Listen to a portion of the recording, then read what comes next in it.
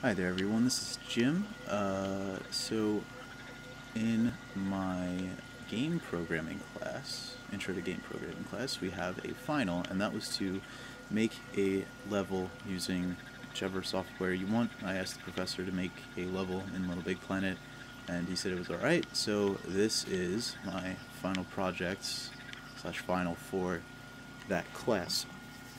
Um, so I decided to make a level based off the the 90s Nickelodeon game show Legends of the Hidden Temple and this is you know what I got here. So what we got is uh, we got our little main character here Sackboy um, before I start in case you haven't played this before uh, Sackboy is the main character. Little Big Planet is just a kind of you make your own thing. You put it out on the internet for other people to play. That's pretty much what Little Big Planet is. It's just a it's, it's just software really to make your own thing. Um, so what we can do is we can jump, uh, we can press the R1 button to grab, uh, and that's pretty much what we're using in this. We're moving left and right with the analog stick, and we can emote. Oh, that pause. We can emote when we actually play the level into, you know, do different emotions and whatever. And if you, I move the controller up and down, I can move his face up and down. But the only buttons in this level that we're using are X, which is jump, and R1. And I made the instructions for this level based on that knowledge because if you're playing this level you already know how to play Little Big Planet and you have already went through the campaign essentially or have played Little Big Planet before because um, nobody really just picks up a level on ran a random level online and just you know goes to doesn't just you know just doesn't know how to play so right now we're in creative mode and I just wanted to uh, go through the entire level and show what I did to make it essentially. So this is the start point. You load up here and then you got this arrow here so you know, you know we're going from right to left instead of traditional left to right. So uh, we got that. We got up here is where you're going to be finishing your temple run. So you're going to cross the finish line here and here is the scoreboard to end level. And I put this here so nobody can cheat with the, the race starting over here and then immediately, you know, just running over here and ending the race. So this can only be triggered by grabbing the Pendant of Life that's at the end of the temple. So this is just another checkpoint in case you somehow happen to randomly die in the temple. Uh, that's why this is here. Um, so we got a little mouth here that makes our Olmec head talk.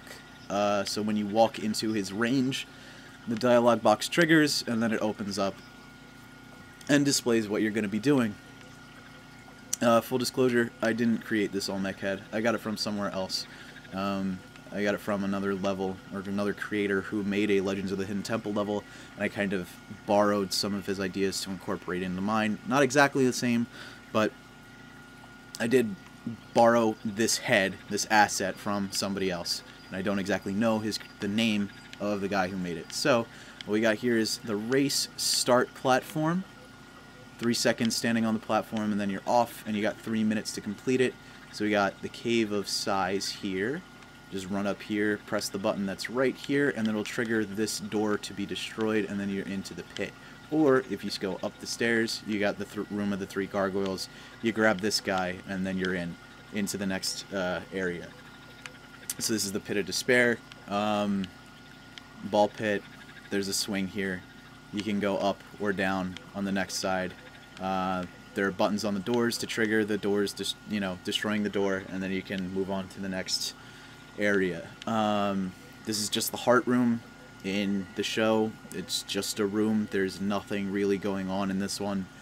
It's just there to look kind of creepy, and then when you get when you're ready to move on, you press this button and move into the king's storeroom. And then about down here we got the Throne of the Pretender, as it's called. Sit on the throne, it'll trigger this uh, this door to be open and this door to be open, and then you move into here in the next room.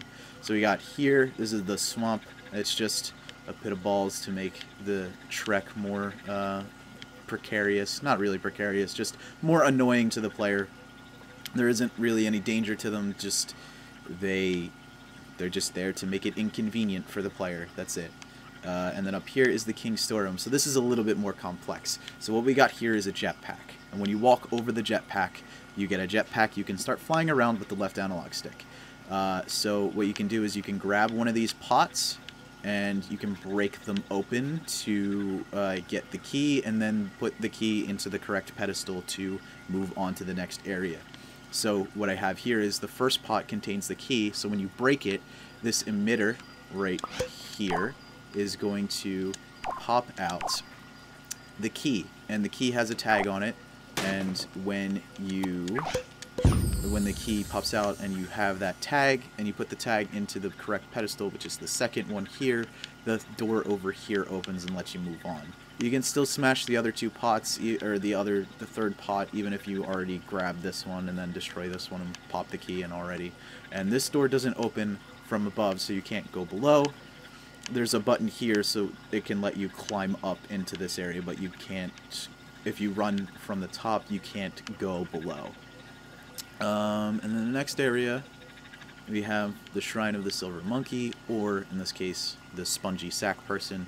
Um, so just grab this piece, put it here, this piece on top, this piece there. Um, so a normal person would do it legs, then then the arms, then the head. But if you can somehow jam the head down here first, then grab this, then grab this, and put it all into this area, the, uh, the sensor down here only needs to see uh, so see that blue cone there that's what the sensor that's where the tags on the uh, sponge the sack person statue thing that's where they need to be in order to trigger the door to move on to the next area and that's it uh, so when I do the run, oops, uh, let me just place that back down. Okay, so when I do the run and show you, you know, how it's done, that's that's what happens. That's what, how I set this up. It's probably not the best way to set it up, but it's that's one way I figured out how to set this up. So you just grab the legs, grab the arms, put the head on top, and then boom, you're on to the next area. And then this is just the like just a holder area. So if you run down here, oh, uh, let me go to this area first before I do that. So this is the dark forest. There are two trees here. They have arms. They're kind of scary. Uh, you grab this thing here, this little branch here. It triggers this door to be opened. If you grab this one, it does nothing, and then you get to move on. Uh, so then here is just the elevator to move up into this room, so you can grab the Pendant of Life. And when you grab the Pendant of Life, all the doors, even the ones that you didn't destroy, are opened. So that way you can just run back through the temple, even, run back through this way, even if you came this way. Um, and so that just lets you do that. And then once you grab the pendant and run all the way back here, uh, past Olmec again. Once you grab that, this thing will be gone, and then you run up here past the finish line stand on the scoreboard, and celebrate your win. And that's pretty much it. And so now I am going to run through it for you. Um, yeah, let's if this changes, whatever I did.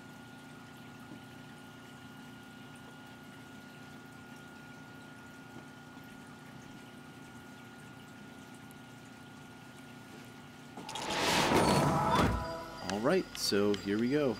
Here's our sack person. Oh, uh, and if you uh, wanted to, you could customize the sack boy a little bit. Let's go with the adventurer skin. There you go. That's a little bit fitting for this level. So you can customize them too, but you have to play through the main campaign in order to do that. So here's the. Hey, Olmec's saying what we have to do. There we go. That's pretty much it. Let's go stand on the restart. And boom, we're off. Alright, so let's go up into the gargoyles room. And then we're gonna grab this one. Oh no, that doesn't work. We're gonna grab this one. Hey, look, it triggered the door. And we're gonna swing across, hit this, triggered that. So let's go into the next room. Open, got the jetpack. Open this. There's the key. Uh, let's knock this thing off. Let's that, so destroyed. We're gonna lift this up, place it in here. Hey, it triggered. Let's destroy that too. Move on, jetpack again. Legs. Grab the legs. Whoops. Okay, put them down. Grab the arms. Place them like so. The head. And, and oop. Did I get it? There we go. We got it. Oh, it's falling off. Let's put that back. There we go. Uh, it might fall. Alright. Hey, look, it's a pendant. Let's grab it. And now all the doors are unlocked, even the ones below. We don't need that elevator. Here's Dark Forest again. Look, grab it. Nothing happens because all the doors are unlocked. Grab that too. And let's move across the swamp into the throne room, back into the pit of despair. Climb up. Get into the cave of sighs. And boom, we're out. Go this way. Pass Olmec again. Jump up. Go up the stairs. And that was my final for this class. Okay, hope you guys liked it.